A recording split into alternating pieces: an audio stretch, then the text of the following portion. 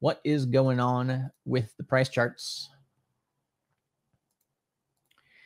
Let's refresh coin market cap just to get you the most up to date data down to the penny here for market cap.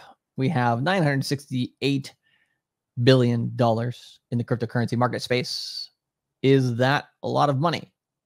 Or is that very little money? Well, I would say mm, it means we're at a discount. Anywhere where we're under $1 trillion, I sound I know I sound like a broken record, but it is what it is, right? So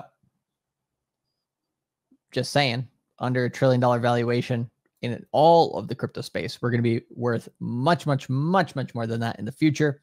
I would say minimum, you know, the crypto space we'll get to would be $10 trillion.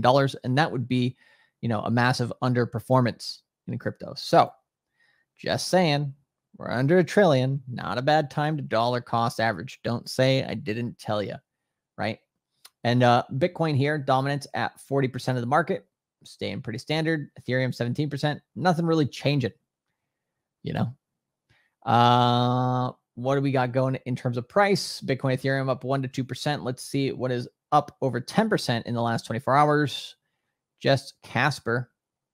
And maybe we can give Trust Wallet the benefit of the doubt here. Anything down more than 10%? N- nope, it doesn't look like it. Let's go down to 100 to 200. Look at some low cap gems and see if any of those are moving today, whether they are gems or not. Sushi Swap moving 13%. Vulcan Forge back on the list here today. Again, uh, continuing to come up uh, this week.